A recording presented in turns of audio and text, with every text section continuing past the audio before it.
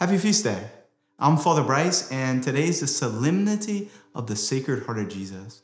And today I'm talking to you from, um, from the chapel where I pray every morning, where I come before the Lord and just, well, just pour my heart out to Him. And I, and I gotta tell you, today is one of my favorite solemnities of the, of the year. Today, because we celebrate Jesus' most sacred heart. But what does that mean? Like, are we celebrating a physical organ? Or are we celebrating like an emotion? Or, or what are we doing? The church tells us that in celebrating the solemnity of the Sacred Heart, in having devotion to the Sacred Heart, we're doing two things, at, at least two things.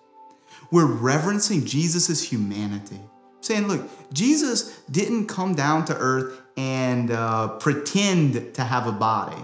Jesus came down to earth for real. He took a human body and a human soul, and that Jesus became really human. The second thing that we're celebrating, that we're asking for from Jesus when we reverence his sacred heart, is for his emotions, for his desires, for his compassion. When I was in high school, we got a new pastor at my parish, which was Our Lady of the Sacred Heart. And when Father Jeff came to the parish, it seemed like in every homily, he was saying this little prayer to the Sacred Heart. He said this Jesus, meek and humble of heart, make my heart like unto thine. That's a, that's a really old prayer. I don't even know where it started, but something struck when he said that, and I was in high school. And I started saying that. And even today, I, I think pretty much every day, at least once, maybe twice, maybe 20 times or 50 times in a day, especially if it's a hard day. Jesus, meek and humble of heart, make my heart like unto thine. Jesus, I get impatient a lot, but you don't. Make my heart like unto thine. Jesus, I get angry a lot, but you don't. Make my heart like unto thine that person is coming and wants to talk to me. And I really don't want to talk to her.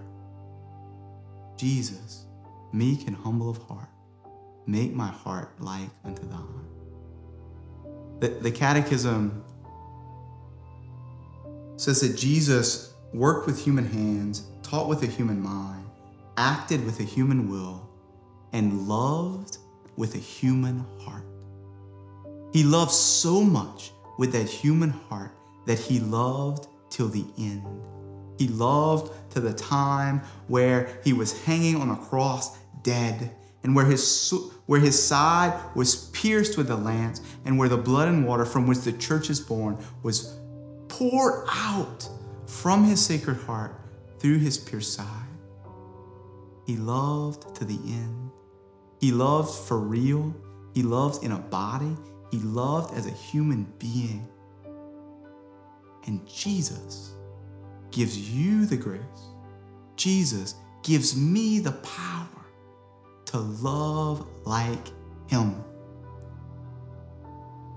Jesus, meek and humble of heart, make our hearts like unto thine. Amen.